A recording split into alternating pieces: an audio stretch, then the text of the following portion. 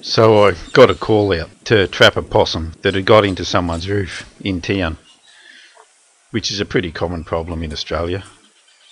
So I'm just going to use this box trap and bait it with half a piece of apple, which I'll suspend in the back by a bit of string. So this is just a bought trap, which seems to work well enough. It's not as sturdy as some, though it does fold flat, and there is a lot of junk out there that you can buy. I used to make them, such as that in the photo below, but someone wanted them more than me and I don't have them anymore. That was actually large enough to crawl into and capture yourself.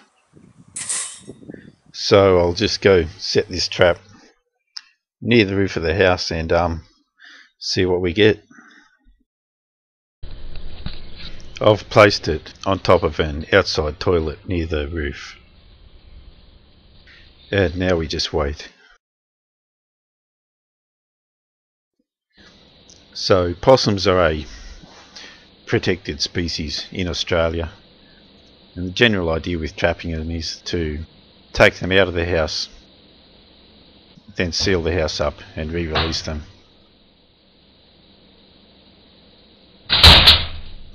But I was actually the next town over when this went off and I was only alerted by the trap alert that I used on top of the trap. And I used that to ring the owners of the place to deal with the roof and release the possum. So I had no further input into this other than going back a few days later and picking up the trap. So unfortunately I can't show you it being released. But that's it, so how you trap a possum.